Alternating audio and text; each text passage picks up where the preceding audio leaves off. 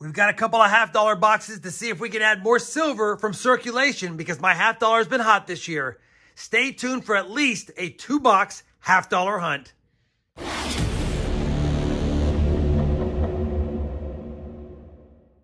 Hey everyone, it's Rob Finds Treasure and welcome back to the channel. I've got a couple of half dollar boxes here. I told everyone last week during the streams they looked new, or at least mostly new, and I popped open both of them. This one doesn't look as new as I thought from the bottom, but the bottom box looks almost all brand new. So, got to get the money back to the bank. Figured I'd hunt them, make a video. We'll start with these two. If they're terrible, we'll add in more, but really quickly on the year, 103 boxes I've hunted solo, 114 silvers found. That's the breakdown. We've killed it on the live streams. 78 boxes hunted live, 209 silvers found. Crazy. So, year to date for 2024, 181 boxes, 323 silvers. Hoping to add to that with these, but like I said, they don't look too promising. But either way, we're going to hunt them. And as always, when I have a find, I'll bring you guys back in. If I have a find at all, other than the NIFCs, I'll just find those on the side and stack them and give you periodic updates if we have finds in between. That's a lot of talking. Let's do some hunting. Welcome back. That box was as bad as expected, maybe even worse. Only one find, a 2018 Denver NIFC. So glad I hunted that solo. But when you see the top of this next box, we could be in big trouble. I might need to add more boxes. Typically a box like this, I'd almost send back, but after closer inspection, it looks like we have a handful of circulated coins on this side, and there are more than this on the other side. So probably gonna be a 50% brand new box. Probably not gonna have any finds, but I have had good luck hunting boxes like this in the past and finding silver. So I figured I'd go ahead and hunt it, get the money back to the bank, and fingers crossed, we get a find or two in the second box of this W bank, which is normally my good bank, hunt. We're on roll number six. There are no finds. Just wanted to give you a quick look at how the rolls are looking. You can see there are some circulated coins mixed in here, but it's mostly 2023 Philadelphia's, which I am periodically scoping just in case we got one of the DDOs in here. Haven't seen one yet in my area. Let me get back to the hunt. Just wanted to show you what we're up against and probably not going to have any finds. We're on roll number, what is that, 15 of the box, and uh, we might have some action here. Take a look at the weight of the roll. I've tared this thing down to zero twice. I've put other rolls on there. We have a pretty heavy roll here, 226.4 on the roll. So, uh, might have silver. Let's just go and crack into it and see what we got. This is why I love coin roll hunting. This box was going to be nothing. I went ahead and scored the side so I can get a window open for you guys. And take a look at that. We are going to have what looks like a 90%er smack dab in the middle of the roll. And yeah, this is why you coin roll hunt these boxes. Even if they look mostly new, you never know what you're going to get. And we're going to get a Denver minted 1964 90%er out of our efforts here. And had I just sent this back to the bank, we would not have found it. And that is a 90%. I was just checking for one of the DDOs and it didn't have it. 1964 Denver. First find of the box, only 15 rolls in. Could we have more? I'll be back if we do. Well, unfortunately, there was nothing else in that box number two. We did get the silver. Pretty much all the other coins were mostly new, but I'll take it. Two boxes down. Let me decide on a third or possibly even a fourth box for this video. And I'll be back with that box on the table, see if we can add more goodies to this kind of scarce board. All right, we are back with the third box of the hunt. We might have to add another one, but I have a third box here for you guys. Hopefully it's a good one. It's last week's NB Loomis box, my NB bank, and last week's and it's Loomis wrapped rolls. We'll have to see how we do in this one.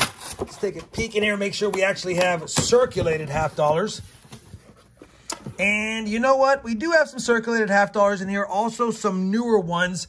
Always 2023 Phillies and Denvers. I've yet to see more than only two total coins from 2024 as far as half dollars.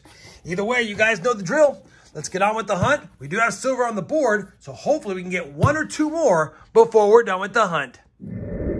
Well, roll number 30 is going to give us silver, and I didn't film it ahead of time because the weight wasn't that much. Take a look at that old gray silver edge. And uh, yeah, look at under 226. So I didn't film it because it's under 226, but I pop it open And what is that? The sixth or seventh coin in? Looks like it's an old 90% silver coin.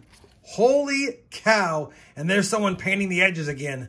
That, my friends, is going to be a 90. And I think it's going to be a Benji or a Walker based on its color. Let's take a peek. And I think it's a Walker. It is, holy smokes. Denver mint mark on the back. And that's an oldie. Oh, for a second, I thought it said 1921. I was about to lose my junk here, but it's 1941. 1941 Denver, based on the wear, I thought it was a 21. I was ready to lose it. But we'll take it either way. That is a 90 to go along with a couple of NIFC so far in this box. 20 rolls left. Well, unfortunately, that Walking Liberty half dollar we found was the only one of its kind in that box, although I'll take boxes that are light on fines as long as the one silver is a Walking Liberty half dollar. So now, after three boxes searched, because we added four more NIFCs, we have five NIFCs and two 90s. So two silvers in three boxes. I think I'm going to hunt one more. Maybe I'll add a fourth and final box to the hunt. I have a Black Rose box, and I also have another older Loomis wrapped box from the same week as this one. I'll have to take a gander at which one I want to bring up on the table. But let me go ahead and do that now. I'll get a box up on the table. We'll hunt it together, and we'll see if we have any good goodies in it. All right, I've decided to do the Black Rose box because in my area, they're either feast or famine or they're brand new. If it's a feast of silver, I'm sorry. If it's a famine, you're welcome. Let's go ahead and crack this open and see if we have brand new ones or if we actually have a box to hunt if I can get my fingernail in there. Uh, you know what? We actually have a partially circulated box. Lots of new enders in here. And again, doesn't matter what bank branch I get them from. Lots of 2023 Phillies and Denvers. And you know what? This is looking pretty tough. There are quite a few in here, but you never know. We've been getting one-hit wonders in our boxes lately. Maybe we can get a one-hit wonder out of this one or more. Let me go ahead and begin the hunt and see if we can find any silver in the fourth and final box. Well, we're on roll number two of this fourth and final box, and we've already got two NIS, no, three NIFCs, pardon me, for the first two rolls, and now we're going to have a proof right here. 1983 San Francisco Minted Proof Coin. Obviously a lower mintage, but it is in circulated condition. Probably worth about a buck in this condition. I'll take it nonetheless, though, because now all we need is a miscellaneous and a 40%er for a fill the board hunt, although it's been four boxes just about. Let me get back to this box, see if there's more goodies where that came from. Well, unfortunately, that's going to do for this last box of this half dollar hunt. We didn't get any more proof coins in it. The last 48 or so rolls are pretty much just an NIFC fest. 14 NIFCs in that hunt. Let me get all of the four box finds on the board. I'll update the sheet and I'll be back with a look at the sheet and some final thoughts on this four box hunt. All right, we've got all of the four box finds here on the mat. We had 19 NIFC coins, but four are damaged or have the Ring of Death. I'll be sending those four back. These 15 are worth keeping for now. We got the proof coin and the 290s. Of course, I'll be feeding them to the silver jar. And I've updated all of my live hunts and my solo hunts since the beginning of this video. And this is the exact totals as of right now. 107 boxes hunted solo, 116 silvers found. The breakdown of 40s and 90s there on the left. 82 boxes hunted live, 218 silvers found live, and that's the breakdown now for 2024. 189 boxes searched on the year, 334 silvers. Holy cow. Looks like I just need to search some more boxes to elevate those totals. Maybe I can hit five or 600 silvers on the year at the end of the year if we're so lucky. We'll have to see. Hopefully, despite the last few boxes kind of being duds, you guys still enjoyed this four box hunt. I know I did. Anytime you can add goodies to the collection, and especially silver to the jar, you can't get mad at that. If you did, I certainly would appreciate that thumbs up. And as always, everyone, happy hunting, and thanks for watching.